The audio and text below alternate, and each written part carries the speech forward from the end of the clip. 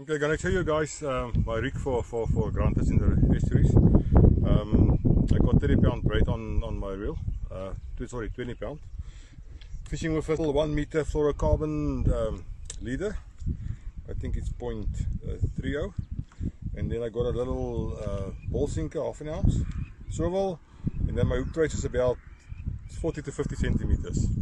Also fluorocarbon, uh, 14 pounds and I use a Hayabusa, uh, number one hook, circle hook. Yeah. That's that's my favorite hook for, for grunters. Right, here's my cracker prawn. We pumped this morning. This is a nice big one. Take the tail, you see it closes itself like that. So yeah, we just keep it that way. Take your hook, go in, go through both of them like that and that's it. Nou ja, perfect, nou, perfect for, for, for, for, for grunter, uh, even small steenbras, even a couple take it and it will stay alive.